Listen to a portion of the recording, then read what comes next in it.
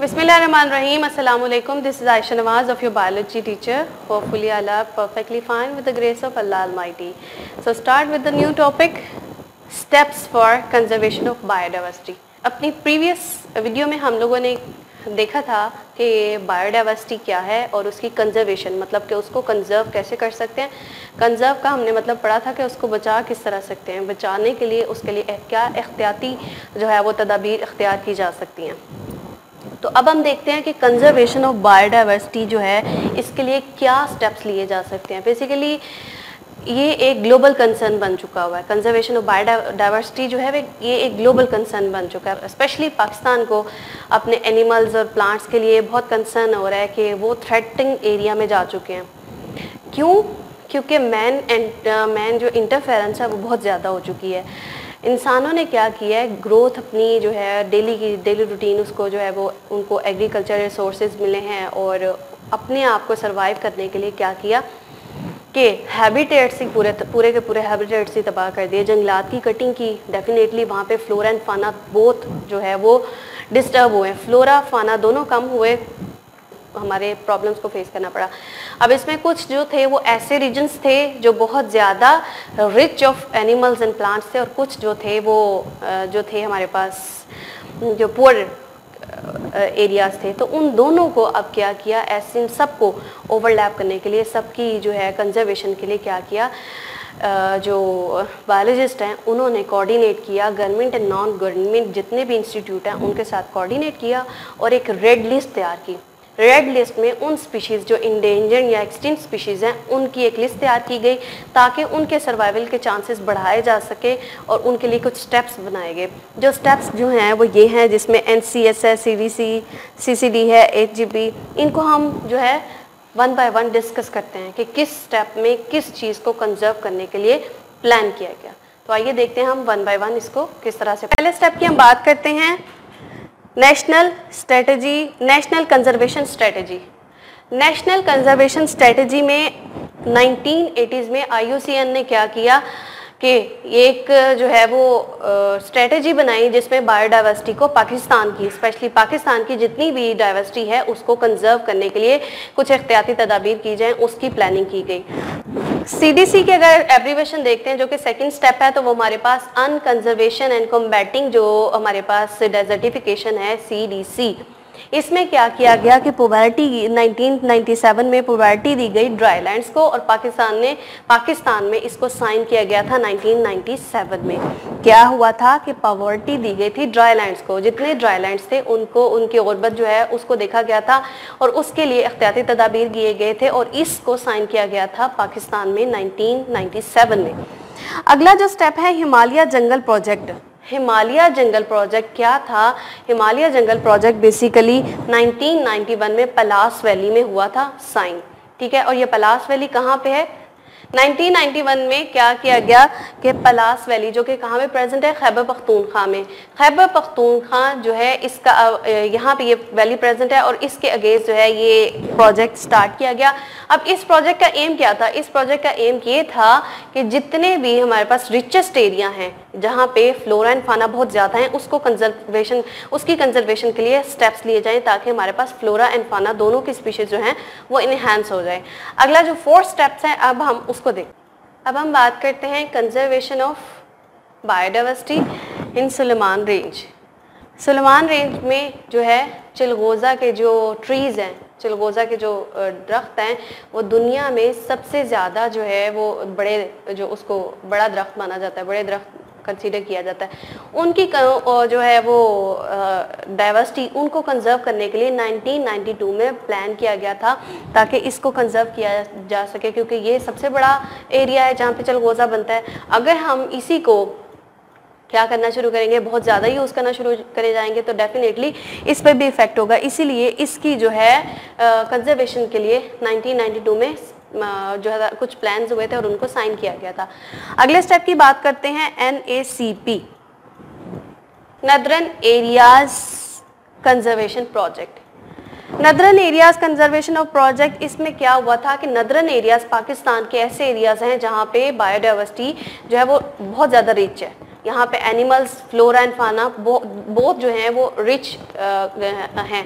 अगर इसको ना सेव किया गया तो डेफिनेटली ये भी ड्रास्टिक कंडीशन पे जा सकता है। इसके लिए फिर क्या किया गया? डब्ल्यू ने बैन ऑफ़ हंटिंग जो है, उसको साइन किया गया कि जो भी हंट करेगा, उसको बैन कर दिया जाएगा, ताकि इसको हम सेव कर सकें। अगले स्टेप की बात करते हैं सी जो है conservation migratory birds migratory bird जो अगर देखें तो ये क्या थे कि चित्राल से इनका रास्ता होता था। Round about two lakh birds जो हैं आउट ऑफ़ वन मिलियन क्या करते हैं कि माइग्रेट करते हैं पाकिस्तान से, इनका रास्ता कौन सा है? चित्राल। तो वहाँ पे क्या होता था कि जब ये माइग्रेट करते होते थे, वहाँ से उड़ते थे, जाते थे, गुजरते थे तो उनको हंट कर दिया जाता था। इस तरह से हंटिंग इनकी बहुत ज़्यादा थी और डे बाय डे इनकी जो है इस स्पीशी इनकी जो स्पीशी है, उसमें कमी आना शुरू हो गई। उसके बाद हम बात करते हैं conservation of Chiltan markhor. Markhor as you know कि हमारा जो है वो नेशनल एनिमल है। तो इसकी कंजर्वेशन के लिए क्या किया गया कि ये कुछ प्लान साइन किए गए। बेसिकली मार्को ये कहाँ पे प्रेजेंट होता है? कोयटा और नियर बाय एरियाज़ में प्रेजेंट होता है। लेकिन अब ओवर हंटिंग की वजह से इसमें क्या है कि डाइवर्सिटी इसकी कम होती जा रही है। स्पीशीज इसकी जो है वो मिल नहीं रही। तो इनको सेव करने के लिए डेफिनेटली एक हमारा नेशनल एनिमल है। इसलिए इसको सेव करने के लिए हमने क्या किया कि कुछ प्लान्स बनाए। एट द एंड देखें तो ban of games ban of games क्या के फॉरेन एरिया से कुछ लोग आते हैं विजिटर्स आते हैं, वो क्या करते हैं कि बैन ऑफ़ गेम्स मतलब कि बियर उसमें यूज़ कौन होते हैं? बियर मतलब जिन्हें हम कहते हैं कि रिच वगैरह, उनको क्या करते हैं? लेते हैं। इनके जो कब्ज होते हैं मतलब बच्चे जो होते हैं, उनको ये चुरा लेते हैं और फिर उनको सेल करते हैं और उसको अपनी, अपने अकॉर्डिंग जो है वो ट्रेन करते हैं। ताकि फिर उससे जस्ट लाइक तमाशाई वो फिर कुछ ऐसे एक्ट्स करता है जिससे सेलिंग कर सकते हैं वो। तो कब्ज इनके चुरा लिए जाते थे और बैन ऑफ़ गेम्स इस, इसीलिए कहा गया है कि इसमें क्या किया जाता था कि बियर्स जो है वो उनको पकड़ा, पकड़ लिया जाता था, उनको यूज़ होता था। इसको सेव करने के लिए भी क्या किया गया कि डब्ल्यू डब्ल्यू एफ़ और आईयूसीएन ने क्या डिफरेंट जो है, वो स्टेप्स लिए ताकि इनको बियर्स को कंजर्व किया जा सके। तो ये थे कंजर्वेशन ऑफ़ बायोलॉजी के कुछ स्टेप जिसमें हमने क्या किया, अपने फ्लोरा एंड फाना दो बोथ को कंजर्व करने के लिए स्टेप्स लिए और एक रेड लिस्ट तैयार की कि जितनी इंडेजर्ड एंड थ्रेटन स्पीशीज हैं, उनको सेव किया जा सके। अब हम देखते हैं कि इंडेंजर्ड स्पीशीज हमारे पास कौन कौन हम बात करते हैं इंडेंजर्ड स्पीशीज की।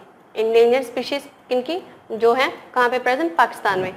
बेसिकली इंडेंजर्ड स्पीशीज वो होती हैं जो कि नियर टू एक्सटिंट हो। मतलब जिनके सर्वाइवल चांस अब कम है, उनकी स्पीशीज़ की तादाद कम रह गई है। या उनको हम क्या कहते हैं? इंडेंजर्ड स्पीशीज़ अब पाकिस्तान में इंडेंजर्ड स्पीशीज़ इसी वजह से हैं, उनको हैबिटेट नहीं मिल रहा। डेफिनेटली मैन जो है डिस्टर्बेंस बहुत ज़्यादा है इंटरफेरेंस ज़्यादा हो गई है। इस वजह से। अब हमारे पास कुछ एनिमल्स हैं जो कि क्या है एक्सटिंट हो रहे हैं, जो इंडेजेंट जोन में जा चुके हैं। सबसे पहले इंडस डॉल्फिन की बात करते हैं तो अगर हम बात करते हैं तो अब हमारे पास सिर्फ़ 600 एनिमल स्पीशी इसकी जो है, इन एनिमल्स की स्पीशीज़ रह चुकी हैं। और इनकी पॉपुलेशन पे क्यों इफ़ेक्ट हुआ है? इसलिए क्योंकि मैन इंटरफेस ज़्यादा इनकी हैबिटेट का मसला आ रहा है और दूसरा ये कि अगर देखें कि इनकी पॉपुलेशन मैन इंटरफेरेंस की पॉपुलेशन की ज़्यादा जो वजह से जो रिवर्स हैं, उनमें प्रॉब्लम आती है जिसकी वजह से इनके, इनको रहने में मसला हो रहा है और ओवर हंटिंग की वजह से भी डेफिनेटली लोग इसे क्या यूज़ डॉल्फिन इस डॉल्फिन को यूज़ करते हैं ख़रीद लेते हैं, चुरा लेते हैं और फिर क्या करते हैं उनको अपने जो है वो एरियाज़ में उसको फॉर इंजॉयमेंट भी उसको रखते हैं, पालते हैं। दूसरी बात करते हैं, Marco Polo ship. Marco Polo ship, ये कहाँ पे प्रेजेंट होती हैं? खुंजराब नेशनल पार्क में। और या फिर वहीं के नियर बाय एरियाज़ में प्रेजेंट होती हैं। तो ये डे बाय डे इनकी पॉपुलेशन लास्ट टू डिकेट से बहुत ज़्यादा कम हो गई हैं। ओवर हंटिंग की वजह से और मतलब शिकार करने की वजह से इनकी जो ग्रोथ रेट है, वो भी कम है डेफिनेटली वो तो कम हो गई, लेकिन इनकी जो पॉपुलेशन है, वो भी कम हो गई है।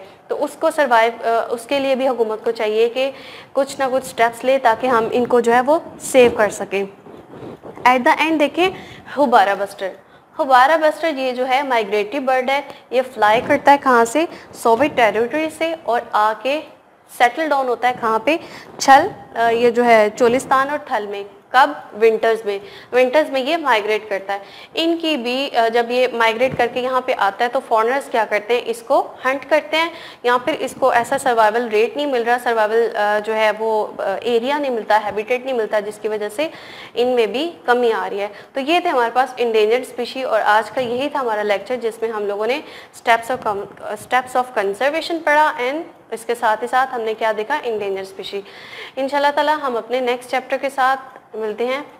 तब तक के लिए अल्लाह हाफ़